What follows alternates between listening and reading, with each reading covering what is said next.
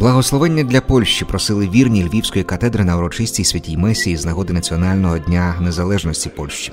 Свобода є завданням для кожного із нас. Тому кожного дня ми складаємо іспити з того, що нам задано, сказав у своїй проповіді з нагоди свята єпископ Емерит Мар'ян Бучик.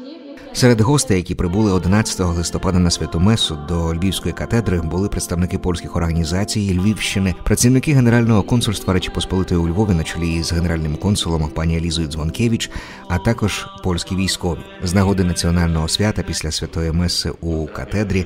На Лучаківському цвинтарі біля могили невідомого солдата серед польських військових поховань також відбулася молитва. На меморіал поклали квіти і запалили свічки пам'яті.